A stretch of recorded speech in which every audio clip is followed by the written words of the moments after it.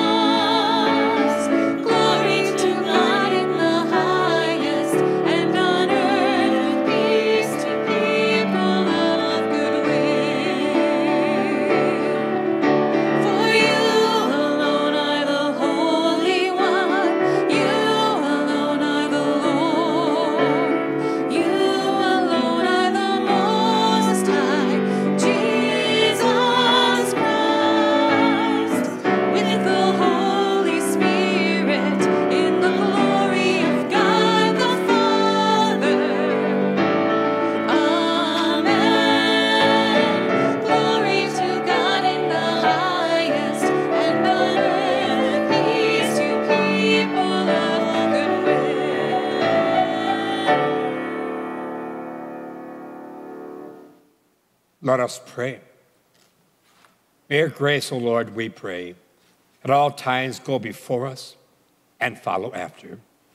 Make us always determined to carry out good works. Through our Lord Jesus Christ, your Son, who lives and reigns with you in the unity of the Holy Spirit, one God, forever and ever.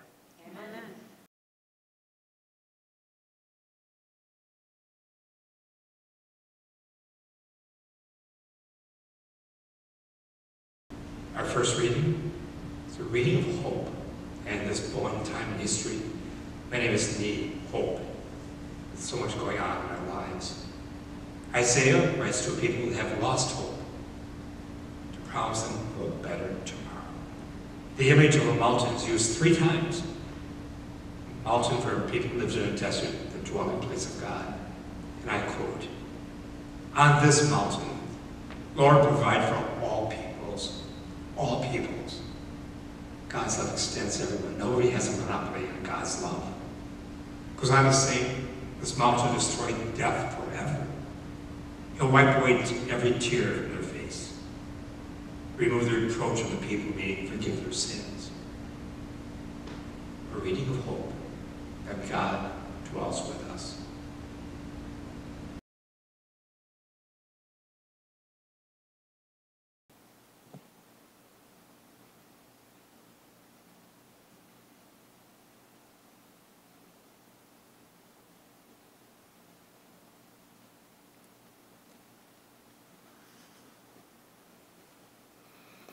A reading from the book of the prophet Isaiah. On this mountain, the Lord of hosts will provide for all peoples a feast of rich food and choice wines, juicy, rich food, and pure, choice wines. On this mountain, he will destroy the veil that veils all peoples, the web that is woven over all nations. He will destroy death forever. The Lord God will wipe away the tears from every face, the reproach of his people. He will remove from the whole earth, for the Lord has spoken.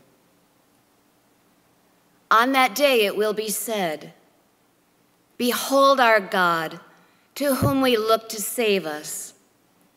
This is the Lord for whom we looked. Let us rejoice and be glad that he has saved us. For the hand of the Lord will rest on this mountain. The word of the Lord. staff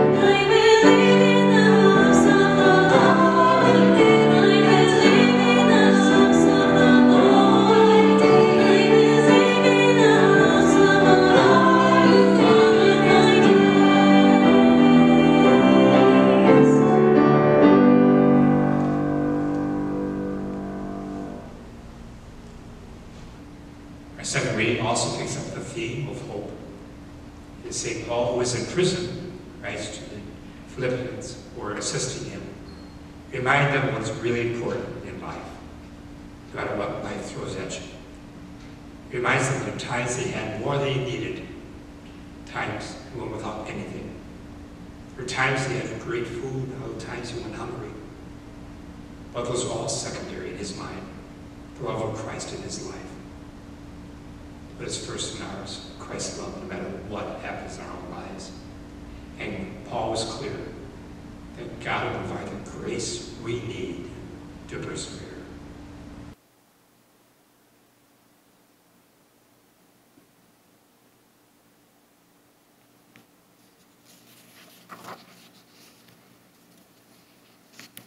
A reading from the letter of St. Paul to the Philippians.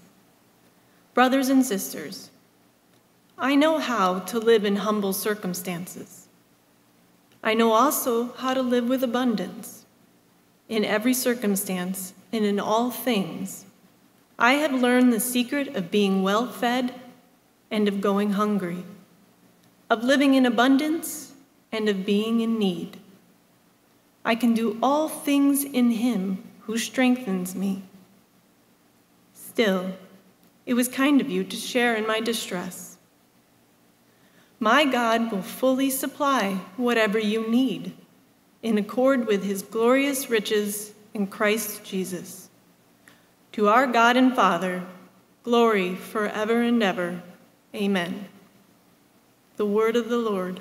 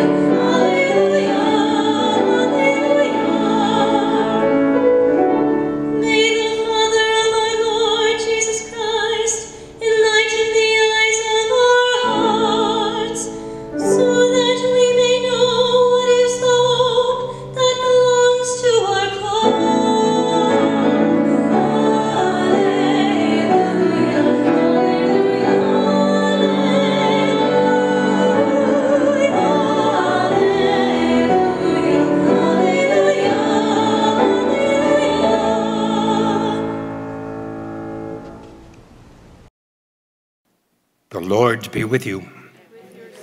Our reading from the Holy Gospel according to Matthew.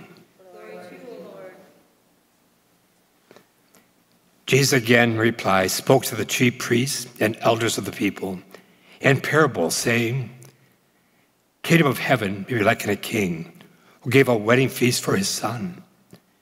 He dispatched his servants to summon the invited guests to the feast, but they refused to come.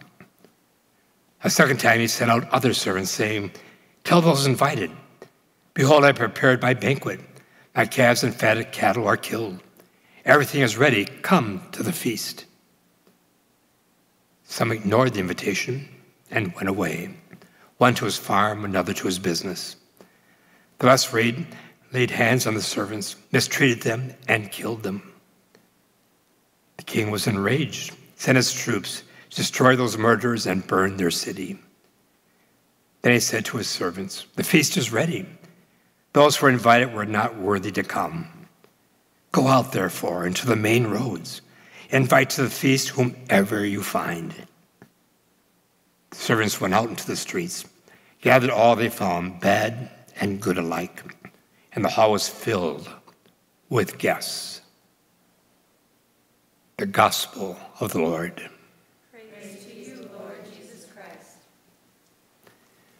I've been willing to bet most of you have been to a few wedding receptions in your lifetime. I can tell you very honestly, I've been to a few more than you have in all my years as a priest. Always kind of fun. Some are very elegant, some are simple. The fun part is just getting together and visiting and celebrating with people. Since COVID 19, wedding receptions have all changed, have they not? By the way, I'm thankful to God I've never had to plan a wedding reception. I wouldn't know where to begin. Bride and grooms tell me how stressful it can be.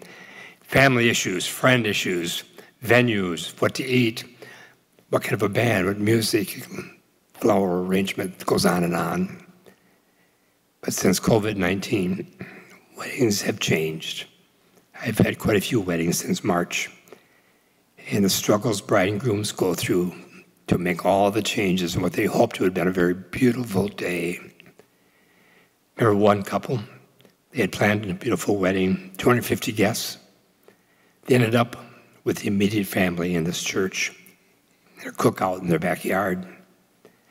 Another one that planned their wedding for March, March thinking COVID would be over with by October, moved their wedding, and then, of course, they had to change it again and had a very simple wedding. They were going to invite the immediate family out for dinner afterwards. The restaurant closed down. They had nothing. But I've reminded couples, all the weddings I've had in the last few months, that if they, out of love, can survive this, they can survive anything life's going to throw at them. Sometimes we just adjust to what God wants and, and has in store for us. I bring it all up because the gospel today is Jesus' parable about a wedding feast. People would have understood that image biblical times, was a little different. It was the groom's parents that put on the party. If you could afford it, you'd invite the whole village.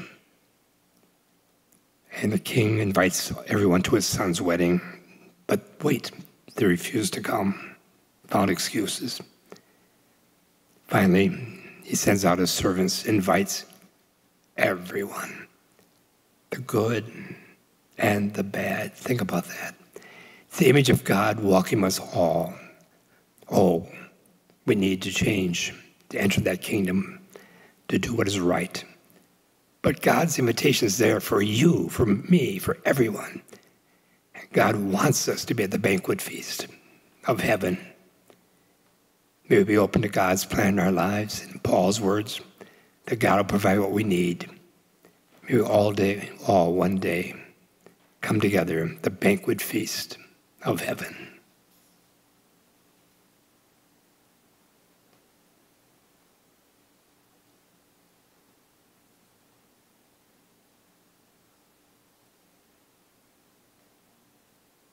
Let's together renew our profession of faith.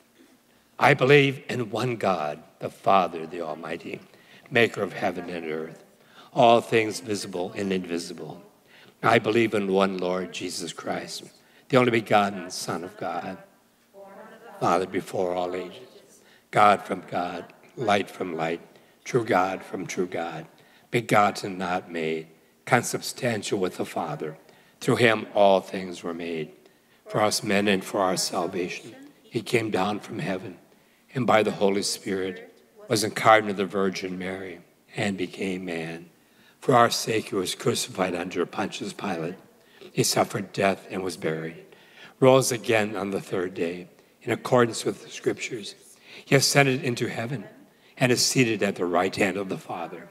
He will come again in glory to judge the living and the dead, and his kingdom will have no end. I believe in the Holy Spirit, Lord, the giver of life, who proceeds from the Father and Son. With the Father and Son is adored and glorified, who has spoken through the prophets. I believe in one holy Catholic Apostolic Church. I confess one baptism for the forgiveness of sins. I look forward to the resurrection of the dead, life of the world to come. Amen. So offer our prayers to our loving God.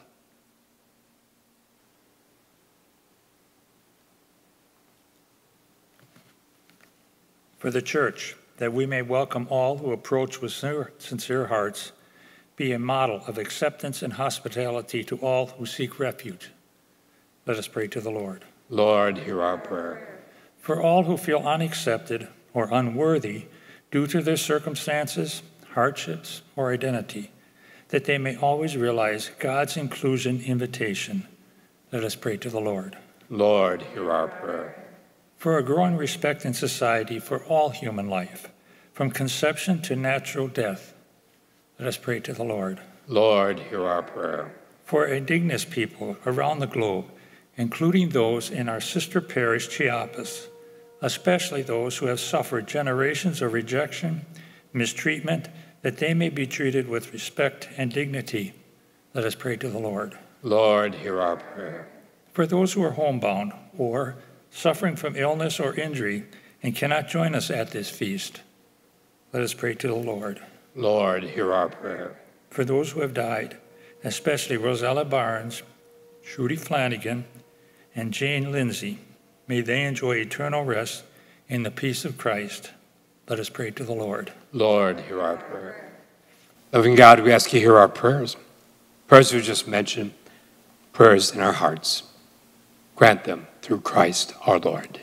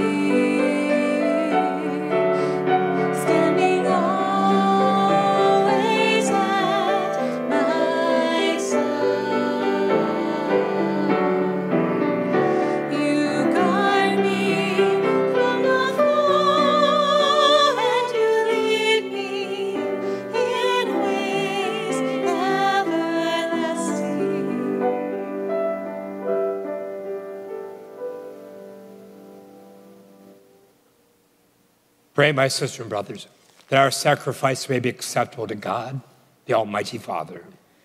And Lord, Lord, accept accept the sacrifice at your hands for the praise and glory of his name. for our good and the good of all his holy church. Accept, O Lord, the prayers of your faithful, with the sacrificial offerings that through these acts of devotedness we may pass over to the glory of heaven. Through Christ our Lord. Amen. The Lord be with you. Lift up your hearts. Let us give thanks to the Lord our God. is truly right and just, our duty, our salvation. Always and everywhere to give you thanks, Lord, Holy Father, Almighty, eternal God. Christ's death we celebrate in love, his resurrection we confess with living faith, his coming in glory we await with unwavering hope. So, with all the angels and saints, we praise you as without end we acclaim.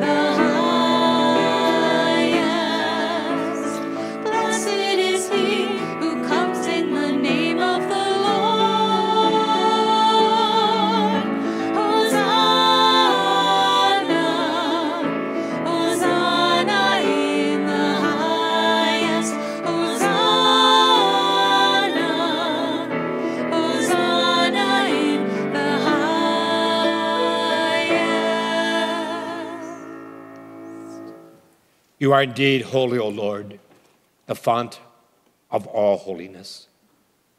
Make holy, therefore, these gifts, we pray, by sending down your Spirit upon them like the dewfall, so that they may become for us the body and blood of our Lord Jesus Christ. At the time he was betrayed, entered willingly into his passion. He took bread and giving thanks, broke it, gave it to his disciples, saying, Take this, all of you, and eat of it. For this is my body, which will be given up for you.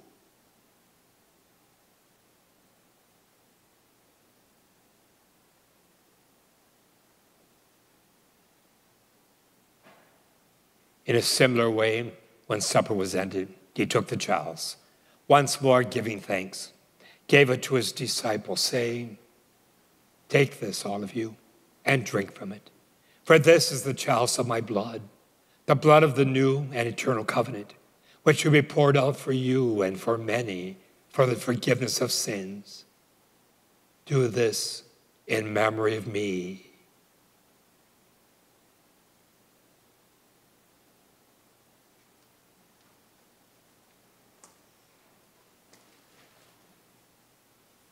The mystery of faith.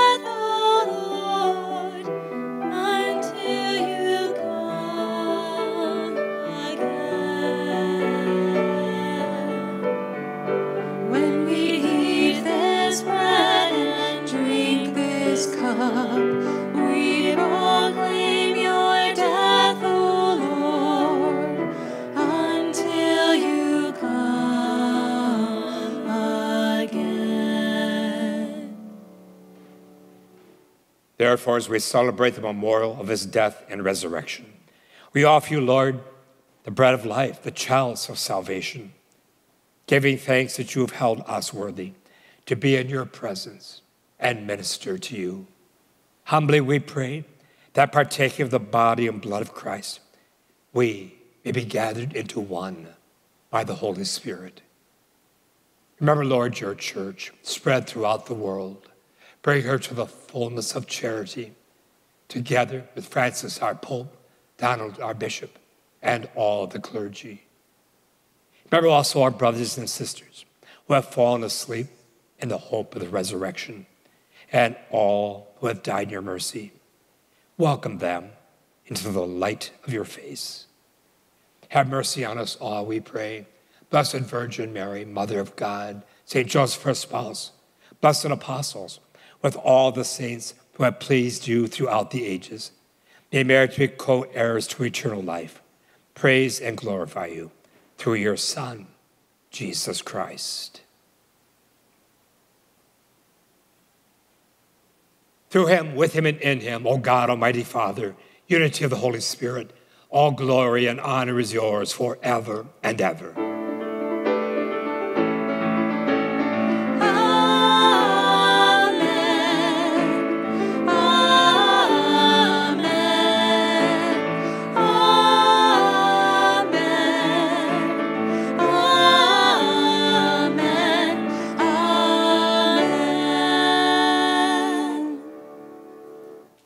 Savior's command, informed by divine teaching, we dare to say, Our Father, who art in heaven, hallowed be thy name. Thy kingdom come, and on earth as it is in heaven. Give us this day our daily bread, and forgive us our trespasses, as we forgive those who trespass against us. And lead us not into temptation, but deliver us from evil. Deliver us, Lord, we pray, from every evil. Graciously grant peace in our days, that by the help of your mercy, we may be always free from sin, safe from all distress. We await the blessed hope, the coming of our Savior, Jesus Christ. The kingdom, the power, and the glory are yours now and forever. Lord Jesus Christ, you said to your apostles, Peace I leave you, my peace I give you. Look not on our sins, but on the faith of your church. Graciously grant your peace and unity in accordance with your will, who live and reign forever and ever. Amen. The peace of the Lord be with you always.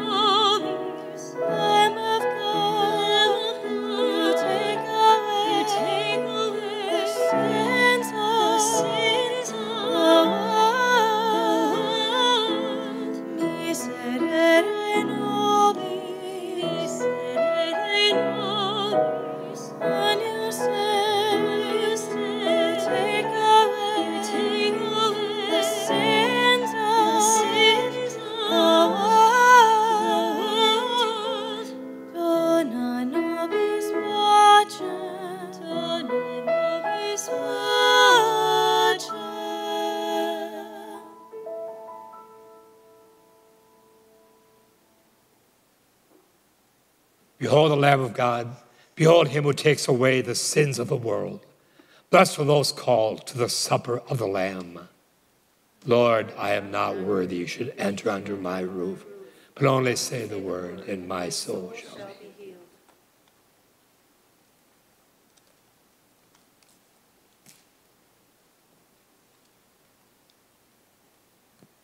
My Jesus, I believe that you are present in the most holy sacrament.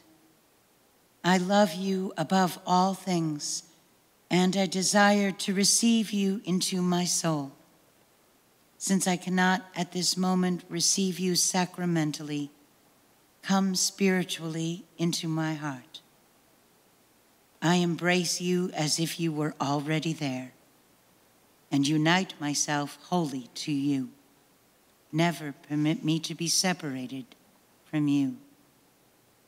Amen.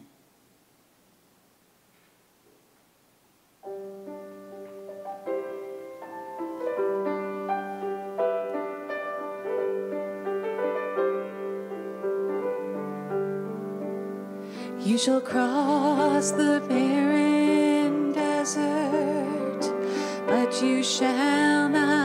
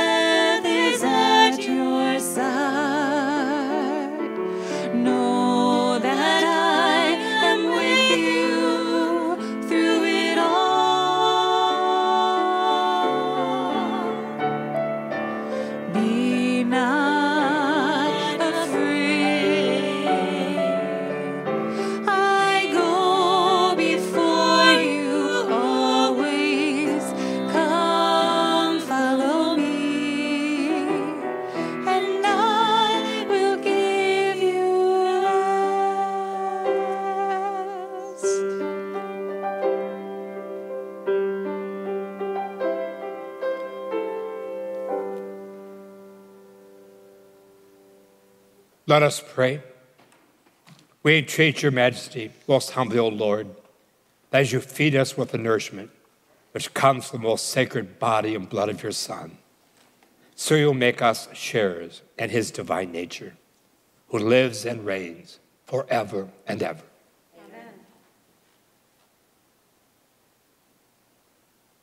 Amen. Next weekend, October 17th and 18th, the big truck will be back in our parking lot.